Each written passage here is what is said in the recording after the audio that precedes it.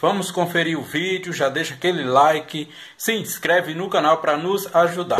Eu não tô acreditando que esse trem aconteceu comigo. Quando a gente tava no restaurante, ele perguntou, ele falou assim: "Você gosta de eu posso dar apelido, né, para sua coisinha lá embaixo?" Eu falei: "Uai, Pode, tipo, ninguém nunca tinha dado, mas se tu quiser, pode, não tem problema. Só que quando a gente chegou na casa dele, eu não me atentei, eu não me lembrei disso, né? Tipo, a gente tinha conversado lá aleatoriamente.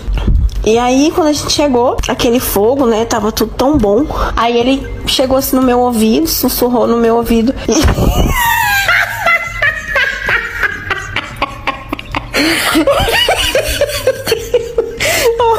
Aí ele falou assim: Eu posso beijar a Juraci?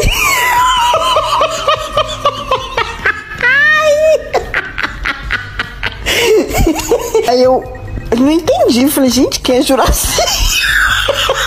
Amiga, eu fingi que não escutei. Porque assim, ó, por uma, por, por uma questão de segundos, eu achei que ele tinha errado meu nome. Aí Tá, larguei isso pra lá, nem falei nada, né? Aí ele foi descendo, né? Chegando lá, ele. Nossa, a Juraci é linda.